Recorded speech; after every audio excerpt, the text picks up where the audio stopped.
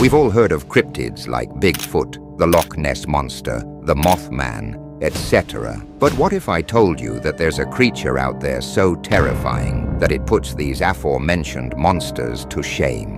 His name is Sticky Stinky Clay. It is said that he lurks in the rural areas of Nebraska. Hundreds of sightings have been reported over the last 10 years, and one detail has quite literally permeated through each of these accounts. Clay is very, very stinky. So stinky, in fact, that many deaths have allegedly occurred from people who have managed to get close enough to him to get a nose full. We actually have never before heard audio of a man's personal encounter with sticky, stinky clay. Be warned, the following audio is extremely disturbing. Viewer discretion is advised.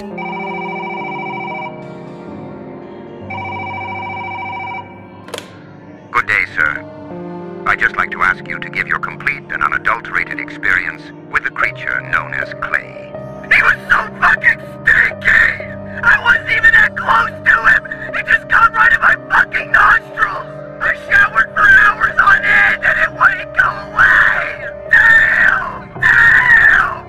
Damn! Damn! Fuck you, stinky Clay! Fuck you!